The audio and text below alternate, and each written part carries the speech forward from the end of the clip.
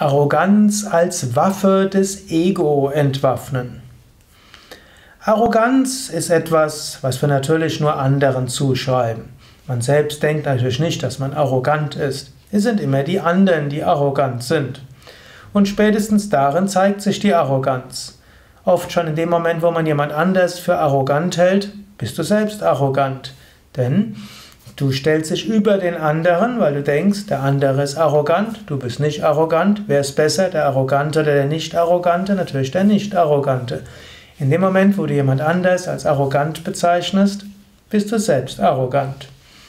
Und das ist das Problem mit allen Spielen des Ego. Das Ego kann sich mit allem identifizieren.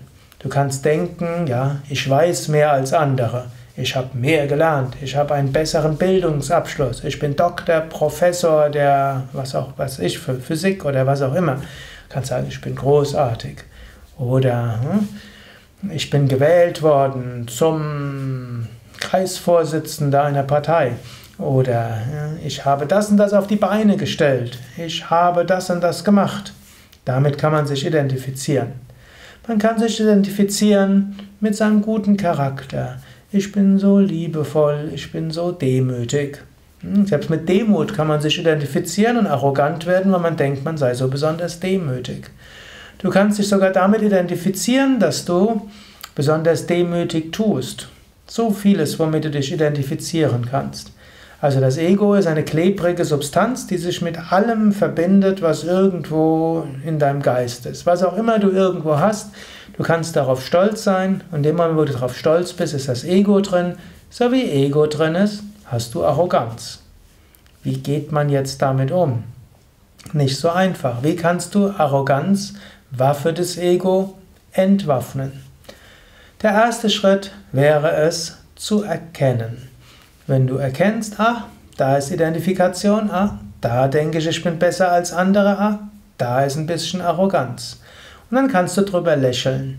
Wenn du das Ganze mit Humor nimmst und irgendwo siehst, aha, mein Gast, da hat er wieder was Neues gefunden, mit dem er sich identifizieren kann. Indem du humorvoll drüber lächeln kannst, ist es nicht mehr so stark, du bist nicht mehr dran verhaftet. Nächste Möglichkeit ist, man kann sich höhere Ideale setzen. Das ist eine besondere Möglichkeit, Arroganz zu überwinden. Und deshalb sind ja auch die indischen Schriften voll von ganz hohen Ansprüchen. Und nicht nur die indischen Schriften. Auch Jesus in den Evangelien war ja sehr stark gegen Selbstzufriedenheit und Selbstgerechtigkeit. Also hat so gesagt, ja, also vor Jesus konnte man sagen, es gab Menschen, die konnten die ganzen Empfehlungen der Schriften irgendwo umsetzen. Judentum gab es Speisevorschriften, Kleidungsvorschriften, Gebetsvorschriften, Gottesdienstvorschriften und alles Mögliche. Und jemand, der sich da wirklich drum bemüht hat, der konnte alles umsetzen. Da kann eine gewisse Arroganz entwickeln. Jesus hat das Ganze erheblich erhöht, auf einem Maße, dass es kein Mensch erfüllen kann. Liebe deine Feinde. Wenn dir mal auf die linke Wange schlägt, halt ihm die rechte hin. Wenn er jemand deinen Mantel wegnehmen will, gib ihm auch dein Hemd. Wenn jemand dich bittet, eine Meile mit ihm zu gehen, geh mit ihm zwei. Schon schwierig genug. Und dann sagt er noch, hm, nicht nur was du in deinem, was du physisch tust, die Gedanken sind wichtig. Es gibt diese Aussage, du hast gehört, dass gesagt wird, du sollst nicht Ehe brechen. Dann sagt er, wer in Gedanken auch nur eine Fantasie hat, der hat schon die Ehe gebrochen. Da wird es auch nochmal schwierig. Und auch im Yoga heißt es, man soll Ahimsa üben, nicht verletzen in Gedanken, Worten und Tat. Also ist schon schwierig genug zu probieren, wenigstens andere nicht in Taten zu verletzen. Noch schwieriger ist es, auch nicht böse Worte zu sagen oder Worte, die anderen verletzen. Es ist noch nicht mal möglich, immer so zu sprechen, dass es niemanden verletzt. Das geht gar nicht. Du kannst etwas freundlich sagen, aber es mag ganz anders ankommen. Du magst probieren, jemandem auf mitfühlende, liebevolle Weise etwas zu sagen und der andere empfindet es ganz anders. Also es ist nicht in deiner Hand. Und noch dazu die Gedanken. Wer hat seine Gedanken wirklich vollständig unter Kontrolle? Diese hohen Ideale, und Krishna hat ganze Aufzählungen in der Bhagavad Gita, was man alles tun sollte und könnte. diesen wird man nicht gerecht werden können. Vielleicht, wenn man Gott verwirklicht, selbst verwirklicht ist.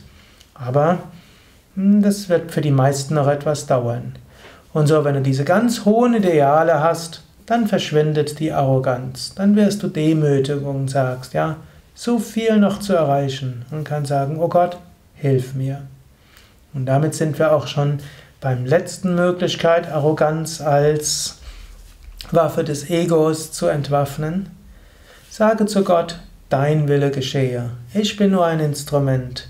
Den Körper habe ich nicht unter Kontrolle, er ist Teil des ganzen lebendigen Universums. Die Psyche habe ich nicht ganz unter Kontrolle, sie ist Teil der kosmischen Psyche. Letztlich, es geschieht. Ich tue nichts, ich bin nur unendliches Bewusstsein, das über diesen Körper und Psyche etwas tut, aber in Wahrheit tue ich nichts. In Wahrheit nichts, was ich tue. Ich bringe alles Gott dir dar. Was auch immer ich denke, was ich tue, mache ich als dein Instrument. Dein Wille geschehe. Sende mir dein Licht und deine Wahrheit, dass sie mich leiten. Nicht mein Wille, dein Wille geschehe. Ich bringe dir alles dar.